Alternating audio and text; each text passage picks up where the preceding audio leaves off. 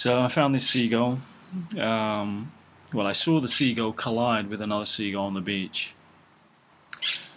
Uh, this poor bastard fell to the floor and uh, obviously couldn't walk. Definitely can't fly right now. Um, he sensed I was trying to help.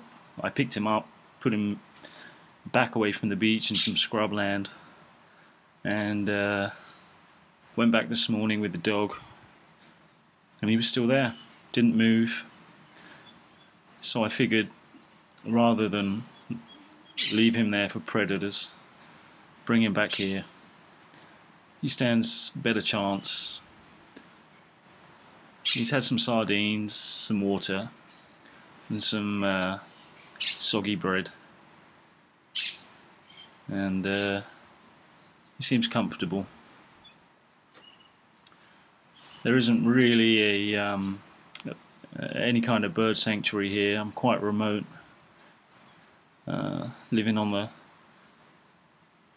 coast of Uruguay. Um, but anyway, we'll see how he does over the next couple of days. And hopefully he'll be able to fly away at some point. Thanks for watching.